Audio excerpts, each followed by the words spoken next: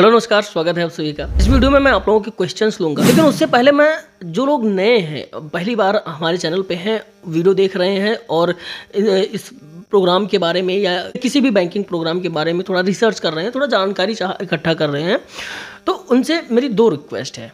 सबसे पहला तो मैं आपसे कहना चाहता हूँ कि आप चैनल को सब्सक्राइब कर लीजिए और नोटिफिकेशन ऑन कर लीजिए, ताकि मैं अगला वीडियो अपलोड करूँ, उसका तो नोटिफिकेशन आपको दिख जाए। भले ही उस टाइम पे आपके पास समय नहीं होगा, लेकिन एक बार आप थंबनेल देख लेंगे तो आपको पता चल जाएगा इसमें मेरे काम की कुछ चीज़ है कि नहीं। तो उस हिसाब से आप आगे उसको देख पाएँगे। दूसरा कि आप एक बार पूरा वीडियो हमारे जो आप हमारे चैनल पर जाइए, ये वाला वीडियो मतलब कंप्लीट करने के बाद पूरी वीडियोज़ एक बार अपनी नज़र से देख देख लीजिए और उसमें जो आपको सही लगे लगे कि हाँ इसमें आपके काम की चीज़ है, उन वीडियोस को आप देख लीजिए। उसके बाद भी अगर कुछ आपका बचता है, कोई क्वेश्चन है, कोई क्वेरीज है तो वो नीचे कमेंट सेक्शन में लिखिए, मैं उसको ज़रूर एड्रेस करूँगा। अब देखो, मैं ये क्यों कह रहा हूँ? उसके पीछे एक कारण है। कारण ये है कि कई लोग, मैं देखता हूँ कि ऐसे क्वेश्चंस पूछते हैं जो मैंने, जिस पे मैंने आठ आठ मिनट के वीडियोस बना रखे हैं। मतलब बहुत ज़्यादा बार मतलब जब भी मैं कोई नया वीडियो अपलोड करता हूँ तो कोई ना कोई ऐसा ज़रूर होता है जो मुझसे पूछता है कि, भैया, मुझे बताइए प्लीज़ कि इन हैंड सैलरी कितनी होगी? जबकि मैंने एक डेडिकेटेड वीडियो बनाया है इस पूरे इसको, इस टॉपिक को कवर करते हुए। तो मैं एक टॉपिक ऐसा है जिसपे मैं लगभग आठ मिनट की वीडियो बना चुका हूँ। पूरा डिटेल में उसके बारे में बात कर रहा हूँ। इसका और उसके बारे में अगर आप मुझसे किसी वीडियो के कॉमेंट में या डीएम करके पूछते हैं तो इसका मतलब ये हुआ कि आप वीडियोस देखते नहीं हैं, आपने चैनल सब्सक्राइब नहीं कर रखा है। तो ऐसा ना करिए, चैनल को सब्सक्राइब करिए और जो भी मैं वीडियोस आप मतलब जो भी आपके क्वेरीज हैं, पहले एक बार वीडियोस में ढूंढ लीजिए, शायद आपको मिल जाएगा।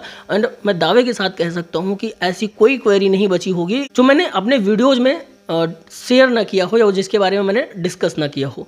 फिर भी अगर कुछ छूट गया हो तो फिर आप मुझसे पूछिए और मैं उसको ज़रूर एड्रेस करूँगा। इस वीडियो में मैंने चार पाँच क्वेश्चंस लिए हैं और उन क्वेश्चंस को मैं यहाँ पर डिटेल में डिस्कस करूँगा। और क्योंकि मुझे लगता है कि इसके बारे में अभी तक बात नहीं की होगी तो उसके, उस पर मैं बात करूँगा। तो चलिए अब हम एक एक करके पूरे क्वेश्चन लेते हैं। सबसे पहला क्वेश्चन लेता हूँ द मीम एक्सप्रेस ने पूछा था इंस्टाग्राम पे डीएम में पूछा था। इन्होंने पूछा है कि जॉब रोल कौन सा मिलता है और सेल्स के अलावा कोई ऑप्शन है? और कैसे करना होता है सेल्स? कोई एग्ज़ाम्पल अगर आप दे सकते हैं तो। अब देखो, वही जो मैंने अभी दो मिनट तक जिसके बारे में मैंने बात किया, वही चीज़ आ गई ना कि इन्होंने, इसका मतलब है कि मेरे वीडियोज़ नहीं देखे हैं। इन्होंने चैनल को सब्सक्राइब नहीं किया हुआ है। क्योंकि जॉब रोल से रिलेटेड और सेल्स कैसे करें? ये दोनों पे मैं मैं एक डेडिकेटेड वीडियो बना चुका हूँ। दोनों पे लगभग मैं आठ आठ मिनट का वीडियो मैं बना चुका हूँ। इस पर मैं ऑलरेडी डिस्कस कर चुका हूँ इन टॉपिक्स को। तो यहाँ मैं इसको आंसर नहीं करूँगा। पता नहीं इसको क्यों लिख लिया था।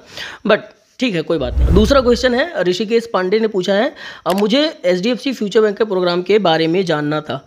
अगेन ये फिर वही दूसरा क्वेश्चन भी वैसा ही आ गया हमारे पास, क्योंकि अगर आपको इस प्रोग्राम को जानना है तो मैं आपसे एक सजेशन आपको फिर वही है कि मेरा कि एक बार डिटेल पूरा आप लगभग, ना सारे तो दो तीन वीडियोस देख लीजिए, जैसे इन सैलरी वाला देख लीजिए। मेरा एक्सपीरियंस पर्सनल एक्सपीरियंस जो है, उसके बारे में वो वीडियोज़ देख लीजिए। और बाकी आपको जो ठीक मैंने थंबनेल पे जो लिखा है अंदर मैंने उसी के बारे में बात किया है तो आप वो वीडियोस देख लीजिए। तो आपको जो कुछ भी जानना होगा आपको वहाँ से पता चल जाएगा। फिर भी अगर कुछ एक्स्ट्रा है then ask me next question है आनंद तिवारी लिखते हैं कैसे तैयारी कर, करूँ? मैंने अप्लाई किया था टेस्ट के लिए मेल भी आया है। ठीक है देखो यहाँ पे मैं आपसे कहना चाहूँगा कि तैयारी का जो बात है जहाँ तक तैयारी आप कैसे कर सकते हैं? इसमें जो बेसिक बैंकिंग की जो तैयारी होती है जैसे आई की होती है या कोई भी रीजनल रूरल बैंकिंग की जो होती है बेसिक जो मैथ और रीजनिंग दूसरा जो इसमें सेल्स का सब्जेक्ट होता है, उसमें आपको आपकी प्रेजेंस ऑफ़ माइंड और आपकी सेल्स स्किल देखी जाती है। उसके बाद में आपकी पर्सनैलिटी और उस सब पे बात होती है। कुछ चीज़ें हैं कि जो अभी क्या है वीडियो के माध्यम से आपको आंसर करना होता है तो उसमें आपको बस कुछ नहीं करना है, सामने बैठ के वीडियो में बोलना है।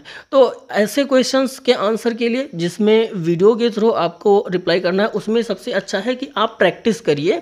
कि सामने अगर कैमरा है तो आप कैसे बात करेंगे? तो उन चीज़ों को आप अकेले में बैठ के बोलने की प्रैक्टिस करिए। इन सारी चीज़ों पे आप प्रैक्टिस कर सकते हैं। यहाँ से आपको एक आ, मतलब एक कॉन्फिडेंस आएगा और आप इसको अच्छे से कर पाएँगे। यहाँ जो वीडियो कैमरे की जो रिकॉर्डिंग होती है, उससे, उसका मकसद ही यही है कि आपके कॉन्फिडेंस लेवल को देखा जाए और आपके एक्सप्रेशंस को देखा जाए। जब भी आप कोई चीज़ कह रहे हैं, कोई आंसर दे रहे हैं, क्या आपके शब्द, आपके इमोशन आपके एक्सप्रेशन ये तीनों मैच करते हैं कि नहीं? इनका बेसिक मकसद ये होता है। नेक्स्ट क्वेश्चन लेते हैं।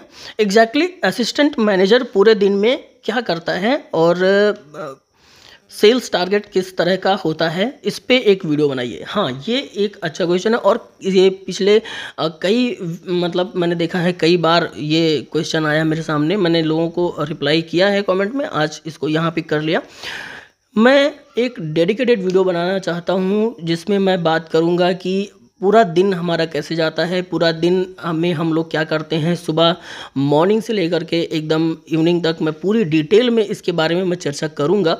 अब चूँकि इस समय मार्च का एकदम क्लोजिंग का महीना चल रहा है तो थोड़ा दिन में टाइम नहीं मिलेगा उन सारी चीज़ों पे बात करने के लिए, क्योंकि मुझे दिन में एक एक करके थोड़ा थोड़ा टाइम निकालना पड़ेगा, बाहर भी आप लोगों से बात करके, क्योंकि उस सिचुएशन को समझाने के लिए तो वो अभी नहीं मिल पा रहा। मैं इस टॉपिक पे वीडियो लाऊँगा और मैं अप्रैल में लाऊँगा इस पर ये पूरा डिटेल में एक इस पर मैं बात करूँगा। तो देखो क्वेश्चन तो मैंने इतने ही लिए थे, चार क्वेश्चन लिए थे, उसमें से दो तो मैंने ऐसे ही रिजेक्ट कर दिए थे, क्योंकि उसके बारे में मैं ऑलरेडी वीडियोज़ में बात कर चुका हूँ। फिर भी जो आप थंबनेल में देख के आए हैं कि सेल्स के अलावा और क्या क्या करना पड़ता है। तो मैं चाहता हूँ एक बार मैं उसके बारे में बात कर लूँ, है ना? क्लिक बेट नहीं करना चाहता हूँ मैं और मैं आपको मिसगाइड भी नहीं करना चाहता हूँ। तो देखो, सेल्स के अलावा इसमें दो चीज़ें और इन्वॉल्व होती हैं, ऑपरेशंस और सर्विस।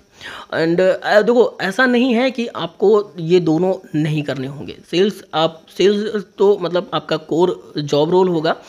बट उसके साथ साथ आपको सर्विसेज़ पे काम करना पड़ेगा। सर्विस इन द सेंस कि अगर कोई कस्टमर रिक्वेस्ट है, कोई कस्टमर क्वेरी है तो उसको रिजॉल्व करना ये आपका काम है। और अगर कस्टमर आपके पोर्टफोलियो का है then this is your primary work तो ये काम है, साथ ही साथ अगर आपके पास कोई ऑपरेशनल वर्क आता है मतलब अगर आप किसी छोटी ब्रांच में हैं, किसी रूरल ब्रांच में हैं तो वहाँ पे आपको करना क्या पड़ सकता है? लाइक जैसे मैं मैं अभी एक रूरल ब्रांच में हूँ तो रूरल ब्रांच में मुझे क्या करना पड़ता है कि मुझे ऑपरेशनल वर्क भी करने पड़ जाते हैं। जैसे मुझे अगर कैशियर, अगर टाइम मान लो कैशियर छुट्टी पे है या कुछ वो है किसी भी कारणवश अगर वो छुट्टी पे है तो मुझे उसका काम भी करना पड़ जाता है। मैं, मुझे कैश काउंटर भी संभालना पड़ सकता है।